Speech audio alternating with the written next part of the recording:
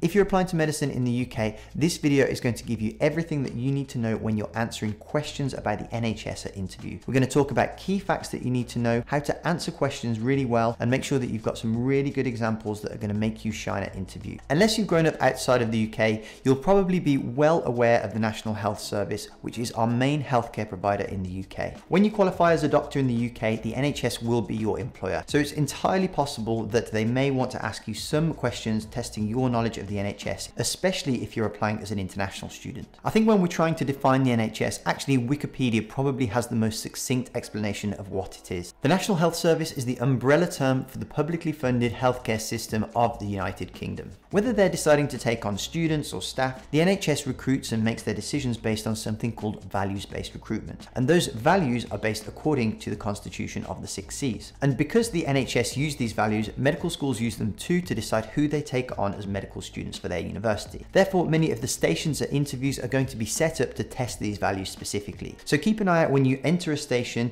to try and work out what the value they are testing that's underpinning the question being asked. That's one big tip that's going to help you be more targeted with your answers when you interview. So now what we're going to do is go through the six C's. I'll take you through all of them in turn and then I'll show you how they're described by NHS England. Then I'm going to show you some tricks how you can show your alignment to each of those values when you're answering questions at interview. These are care, compassion, communication, competence, courage, and commitment. The first is care. They say that the care we deliver helps the individual person and improves the health of the community as a whole. The way that you can best demonstrate your alignment with care is by talking about any volunteer roles that you've done. This could be working in a care home, looking after people, even things like being a babysitter where you have to look after another person. Compassion is how care is given through relationships. For this, you can draw on examples from your work experience when you saw that people had difficulty and you've helped them work through it. But not only that, you can talk about friends and family that you've helped helped through difficult times and showed compassion to get them through tricky times. For communication, they say that listening is as important as what we say.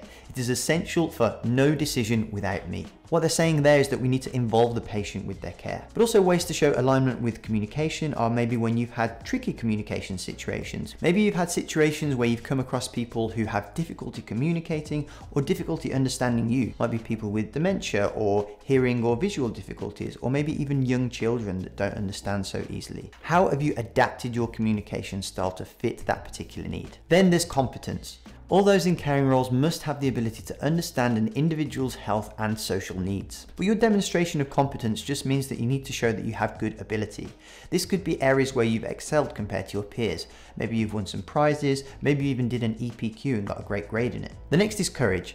This enables us to do the right thing for the people we care for and to speak up when we have concerns. For this, maybe you can think of a time where you've helped support someone or spoke out when you've seen somebody suffering an injustice or subpar care. Maybe during your time as a volunteer or when you were shadowing in the hospital, you may have had to help either a relative or a patient by alerting a senior when an issue wasn't being dealt with properly. And finally, we have commitment. The NHS says we need to build on our commitment to improve the care and experience of our patients. You can demonstrate this by showing anything anything that you've done which is a regular commitment. This could be your volunteering or anything from instruments to sports that you play, just to show that you have stickability and you don't give up easily. Anything that you've done for more than three months is a good example of this. Let's take a brief moment to look at the history of the NHS. The NHS was founded in 1948 by the health minister at the time, Aneurin Nye Bevan. There's a famous quote that's actually incorrectly attributed to Nye Bevan. It was actually initially written by a British sociologist called Thomas Marshall, and it said that Illness is neither an indulgence for which people have to pay, nor an offence for which they should be penalised, but a misfortune, the cost of which should be shared by the community. When the NHS was initially founded, it was based on three principles. Now those have evolved, but the core essence of them is still the same today. Those core principles are number one, that everyone's needs should be met. That means that care is appropriate to all members of society. The second is that it should be free at the point of care.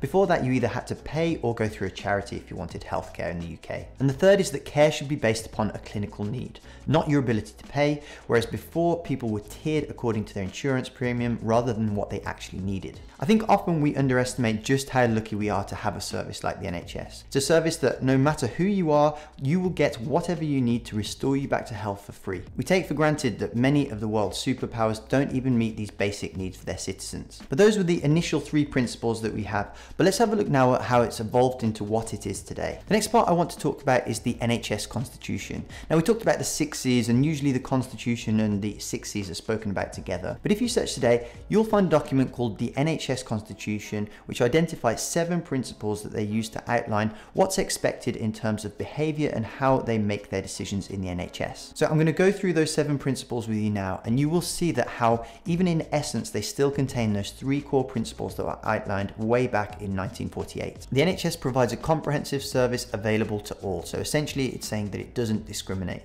Access to the NHS is based on clinical need, like we had in the first principles. The NHS aspires to the highest standards of excellence and professionalism, i.e. ensuring that they're delivering good quality patient care. NHS services must reflect the needs and the preferences of patients, meaning that they should treat them as individuals and involve patients in their care. The NHS works together across organisational boundaries, which means that they sometimes might need to cooperate with other healthcare providers. The NHS is committed to providing the best value for taxpayers because essentially the taxpayer pays for it and they need to make sure that they're using the money the best possible way that they can for the budget that they have. And the final one is essentially saying that they are accountable to the public and they should be open to scrutiny from others to make sure that they are providing the services to the best of their abilities. So questions like this often come up at MMI and panel interviews. So having a good understanding of the core values, i.e. the six C's and the NHS constitution is really, really important. Questions that might come up might be something like, what do you understand by the NHS core values and the six C's?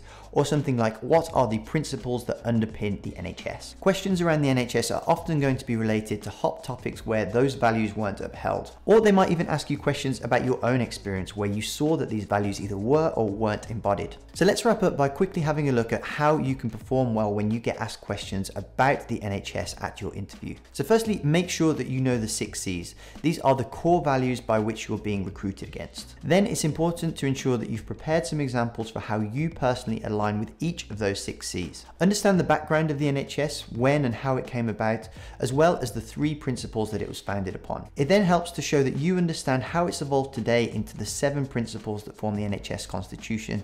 We're not expecting you to recite all seven of them, but at least know a few of them and why they're important in today's NHS. The NHS is always in the news, so before your interview, just make sure you're staying up to date with current affairs and news stories regarding the NHS. Be aware of any important milestones or big cases for the NHS and make sure that you have an understanding of its rough structure. And in fact, one of my tutors at Awale discusses this very nicely in this video here, so check that out if you want to find out more. If you want a really good PDF where I tell you all of the landmarks, cases, and important hot topics that you need to know about the NHS, I recommend that you check out the online course that I've made, which is over 20 hours of videos to teach you everything that you need to know to make sure that you are absolutely bulletproof for your interview. Check that out there. It's really cheap and you get a year's access and it will just give you everything that you need to make sure that you perform well. So to summarize, you just need to know a little bit about the NHS, when and why it was founded, and the three founding principles, know how it's evolved, Make sure that you understand the six C's and most importantly, make sure that you've prepared some examples for how you yourself have aligned with those six C's in your own life. So if you want a quick short fire summary series that's going to give you everything that you need to know quickly before the interview to make sure that you smash it,